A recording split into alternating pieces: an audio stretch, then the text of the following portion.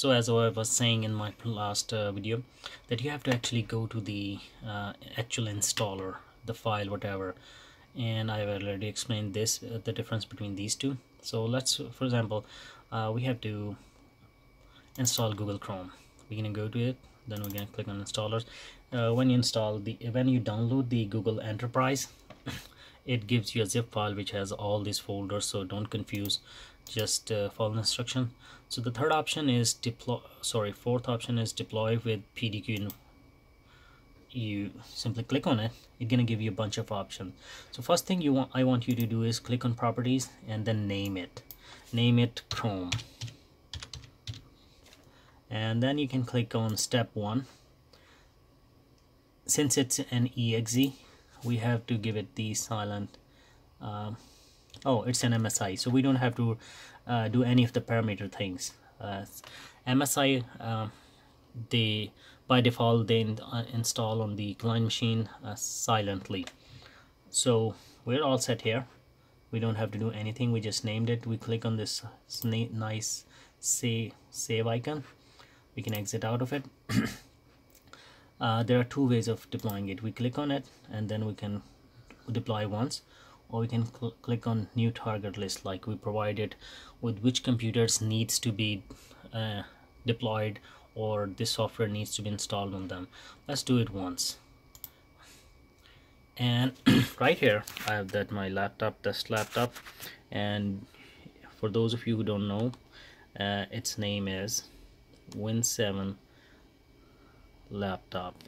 So there are two ways of doing it. Since we're doing it over the active directory and all that as you see it's my server uh, either you can type in the name and click on add computer and it will show up here. But I'm gonna go with the choose target active directory because I give it the active directory username and uh, password for the admin rights.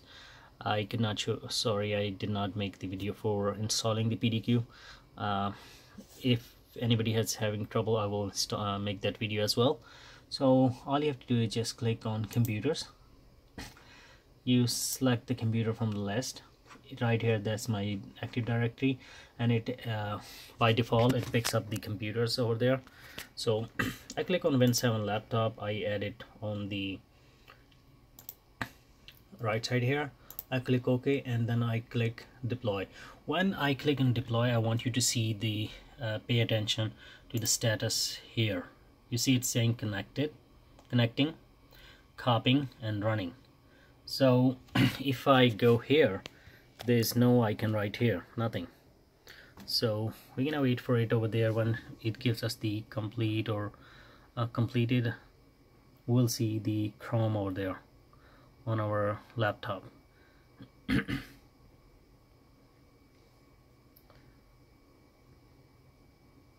in my testing uh, if it takes about a minute or so but if it goes past that it's fail like it will keep saying running but nothing is happening.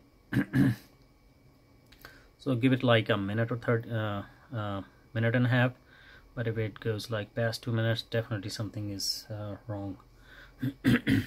But of course I'm on the hardwired network so it could be different for the Wi-Fi.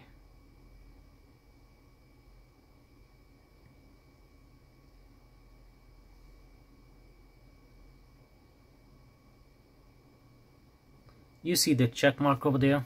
Uh, it says um, so it took one minute seven seconds.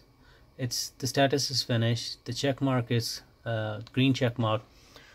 Over here it says successful so we're good. We should be able to see that uh, Chrome installed on our computer. And there it is. That's why I'm making this video uh, this late at night because I have only 10 days for this evaluation uh, uh Windows 7 alright so to test it out like always we'll go to YouTube and see if it works.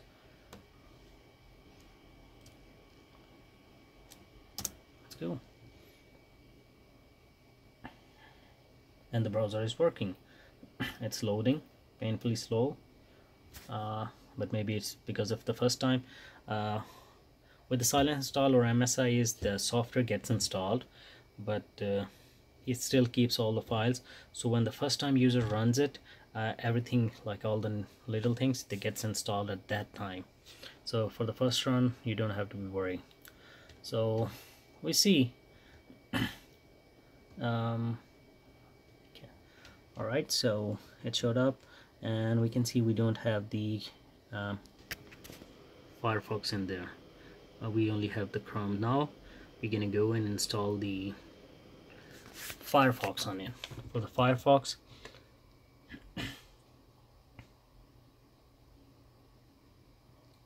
Uh, so this deployment is done. Let me make another video uh, just for the purpose of like uh, clarity and keeping them short I'm gonna make another video for the Firefox